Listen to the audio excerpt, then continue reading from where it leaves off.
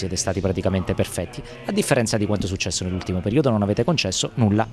Sicuramente venivamo dalla sconfitta di Verona dove prendere tanti gol fa male, quindi questa settimana ci siamo Diciamo, abbiamo lavorato sulla fase di non possesso, di non lasciare molto campo alle nostre spalle agli, agli avversari e oggi penso che si è visto un Pescara molto più compatto, meno, meno bello ma più efficace.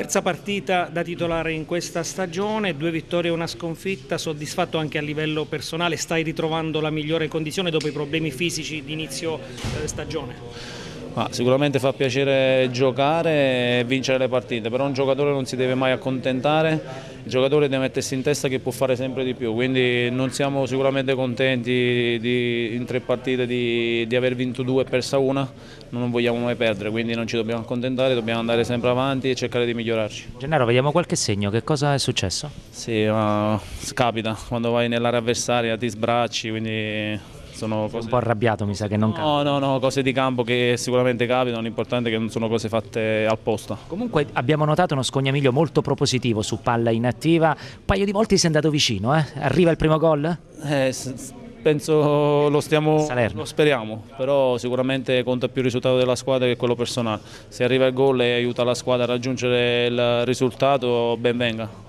Quanto è stata importante questa vittoria, più per la classifica o più per il morale e l'ambiente?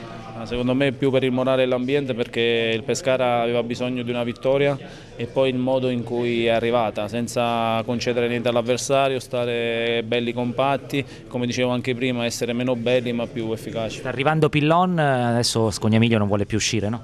no sicuramente, il giocatore vuole, vuole, giocare sempre, però sta a me dimostrarlo in campo, l'allenatore fa le scelte, noi dobbiamo rispettare, ma se noi diamo il massimo in campo credo che l'allenatore non cambierà.